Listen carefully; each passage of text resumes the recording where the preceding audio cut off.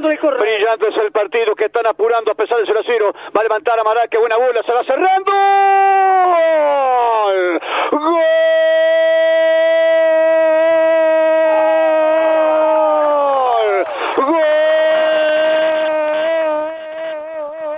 De Penny.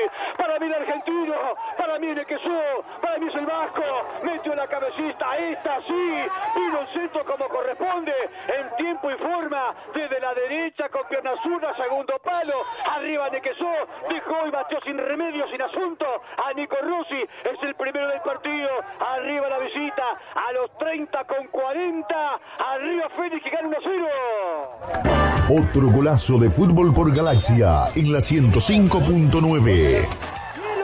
Reclamábamos de Amaral, que tenía que aparecer en el partido. Todos los tiros de esquina los había hecho defectuosos, todos a primer palo. Ahora sí, la mandó el segundo palo, apareció Nequeso, lo dejó sin asunto a Rossi. Un córner que se originó después de una gran jugada de Amaral y Mauren Franco a la salida del tiro de esquina en el mejor momento de rentistas.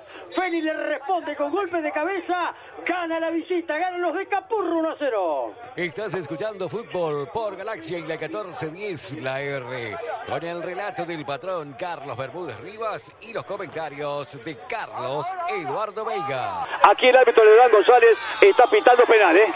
Está pitando penal el árbitro León González ante las protestas airadas de todo el público, gente parcial, que evidentemente colaboradores del Club Atlético Rentistas. Aquí tiene Fénix la oportunidad del segundo tanto del partido cuando cargaba abierto contra la derecha Andrés Barbosa. Bueno, la verdad que una jugada curiosa. La llevó May- el futbolista Mauren Franco.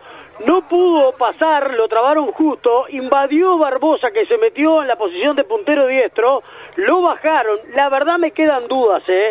Lo protesta todos rentistas, me voy a apoyar con Federico Sena a la televisión si nos puede decir si fue o no fue penal.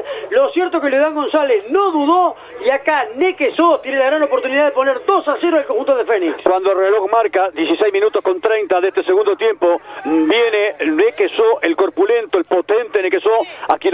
¿eh? Si esto va al arco, eh, tendrá que Rossi tratar de, de esquivarla, porque donde le pegue, lo, lo voltea el muñeco. Es atajador de penales, Rossi. Es atajador de penales. Pablo. Pero le pega duro, ¿eh? Le pega duro el argentino Nequesó.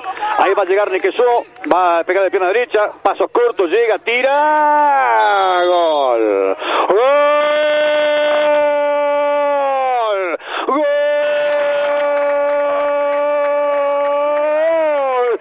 Fénix cuando todos esperaban un remate furibundo, potente, anilicador, anilicador. Ahí la tocó suavecita, una caricia de Nequesó.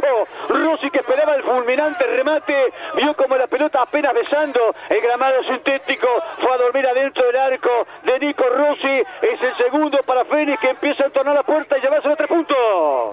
Otro golazo de fútbol por Galaxia en la 105.9. de Nequesó, la jerarquía del argentino, lo dejó parado a Rossi, la tocó a penita contra el parante derecho, entró Manso y Sobón a la pelota y Félix encuentra otro gol más aquí en el complejo Rentistas. Saca dos de ventaja, está ganando el equipo de Capurro Tour Rentistas, que no mejora, que no ha podido llegar sobre la portería de Mejía. Estás escuchando Fútbol por Galaxia en la 105.9 con el relato del patrón Carlos Bermúdez Rivas en una presentación de Antil. Avanzamos juntos. Y los goles mueven el partido. Y se 35, viene Félix por el tercero, 921, perdóname, se viene 596. Félix por tercero, como de remate, gol, gol, gol, Virgilio para mí, gol Félix, cómo se equivoca Ratita en la salida, y cae que Virgilio, el diminuto, el 4, el pequeñín, acomodó, ajustó bien el remate, ¿eh? de pierna derecha, cabecita en alto, ojitos bien abiertos, la puso lejos del arco de Nico Rossi, y Fénix mete el batacazo de visita en el arranque de campeonato apertura, primera fecha de campeonato uruguayo, es el tercero para el conjunto de Capurro, con un hombre de menos, Fénix 3, Retita 0. Otro golazo de fútbol por Galaxia en la 105.9. Caique Virgilio recibió un pase de Brian Olivera y después definió en forma magistral, abajo, lejos del alcance del guardameta Rossi para poner el tercero, para liquidar. Ya estaba liquidado hace rato este partido, porque le costaba una enormidad al conjunto de retistas poder llegar sobre el arco del de, eh, guardameta Mejía. Apareció allí el jugador Caique Virgilio para marcar el tercero. Va a terminar este partido con goleada de Félix a domicilio en la primera presentación del equipo de Capurro en el Estás escuchando Fútbol por Galaxia en la 105.9 con el relato del patrón Carlos Bermúdez Rivas.